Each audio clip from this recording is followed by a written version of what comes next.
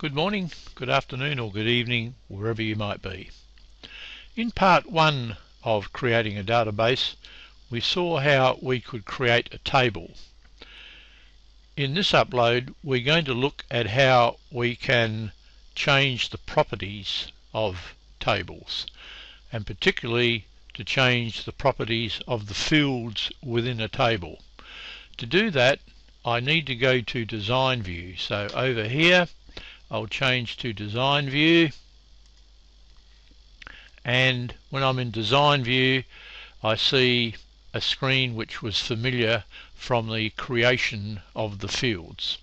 Now as I click on each field you'll notice at the bottom of the screen that the properties of, of fields are available for me to edit and depending on the data type the properties area will change with various options. Let's look at the first one, the ID field, the friend ID. You'll notice that the field size down here shows that the long integer is the field size. We can generally leave that the same because that enables me to have uh, IDs up into the millions.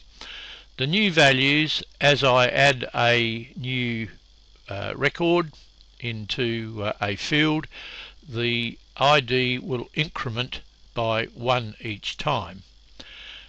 Indexed, I purely look at this and note that the default value is yes, no duplicates. What does this mean?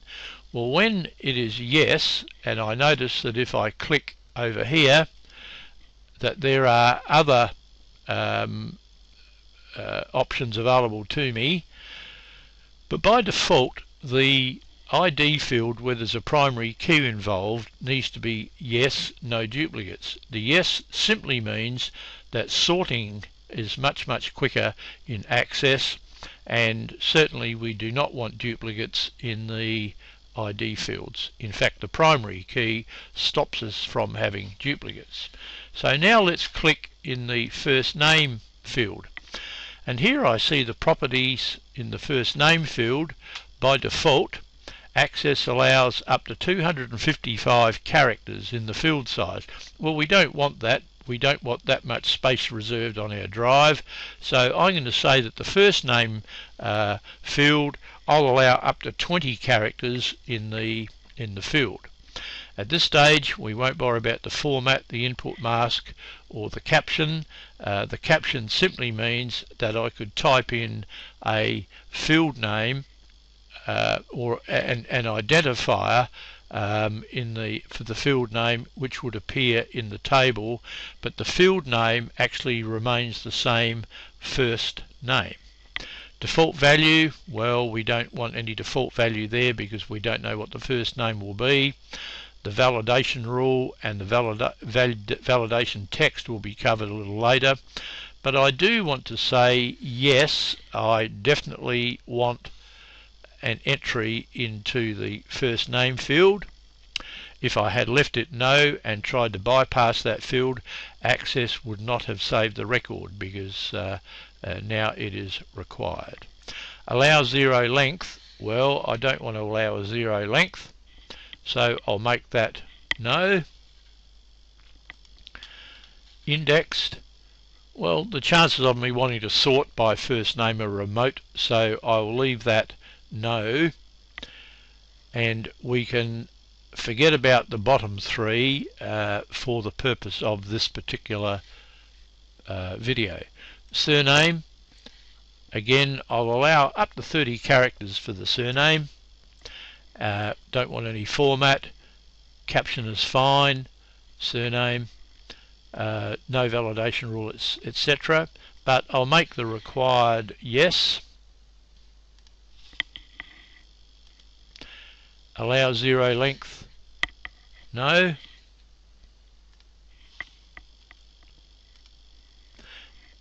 no, uh, and now indexing, um, I might want to make that uh, so that I can sort quickly by uh, surname.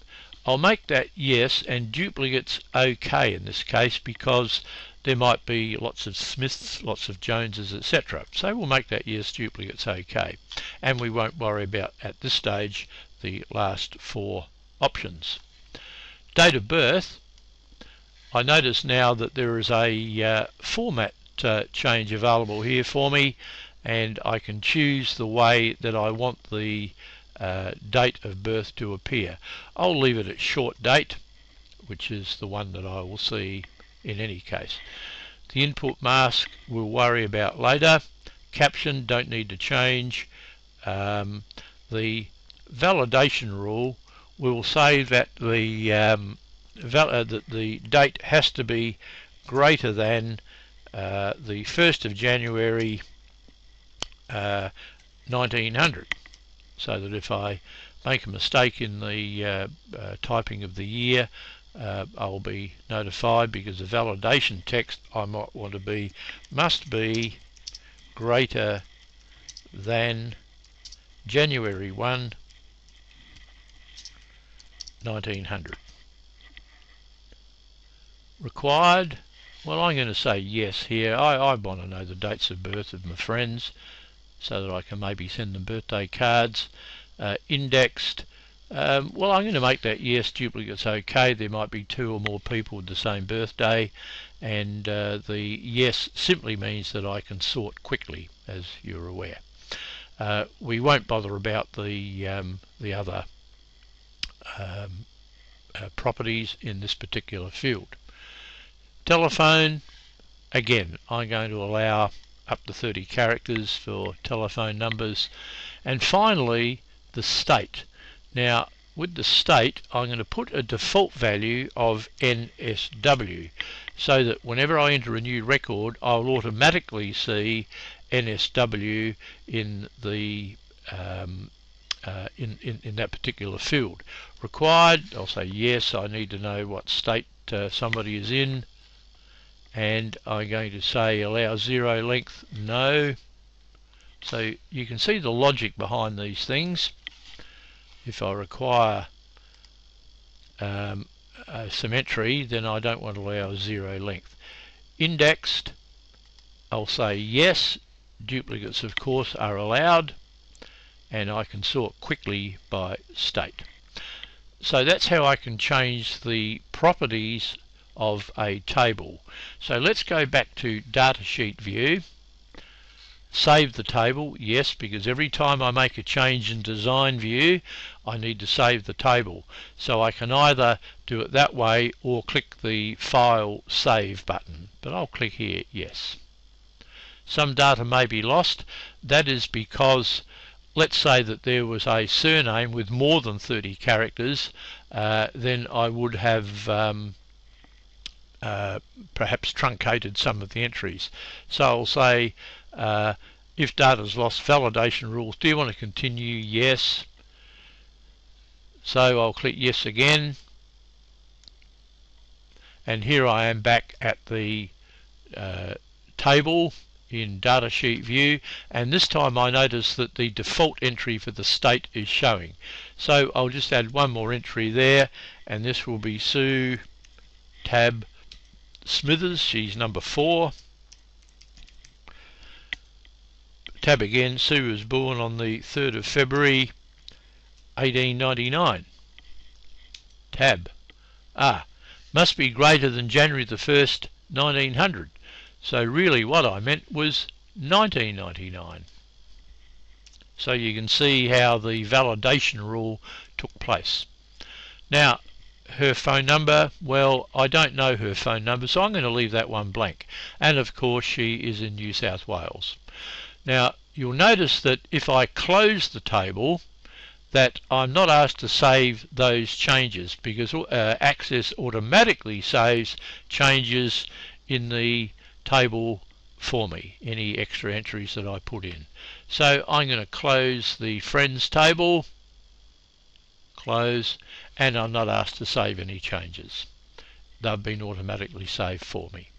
Thank you so much for watching this upload. Make sure that you subscribe because the next part, part three, will involve the creation of forms. in an Access database so that I can easily add information uh, via a form into the table. Make sure you subscribe to be automatically notified. Thank you for watching.